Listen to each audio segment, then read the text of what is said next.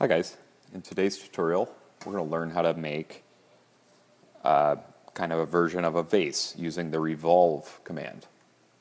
So first, let's double click out of our perspective and let's just draw a straight line using our polyline tool. Holding shift you can make it straight, right click to finish, and we have our straight line in space. Next let's go to our control point curve.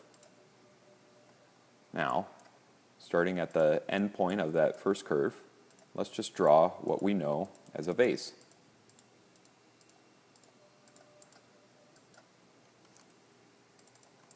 Close enough. Next, the revolve command is going to turn and extrude this along this axis. So let's type in revolve.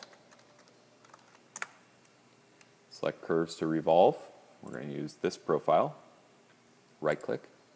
Start of axis. End of revolve axis. And now we have different options of delete, deformation, no, full circle, yes, and split tangents, which we won't worry about. Let's just hit full circle. Now you see how that profile got revolved all the way around the axis that we created.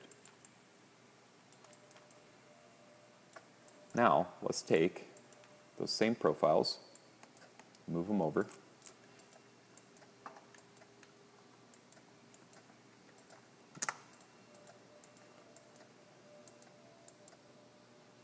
let's add, using our control points on, let's add some deviations to this.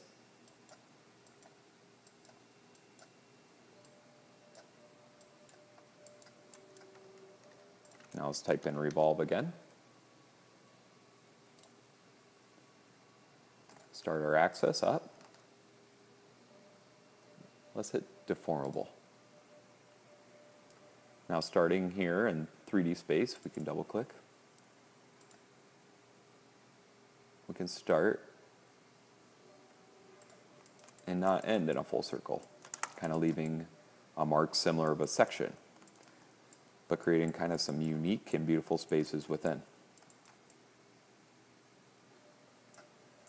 Now, the benefit of keeping it a full circle, typically we're able to type in cap, and that'll be a closed surface, one object.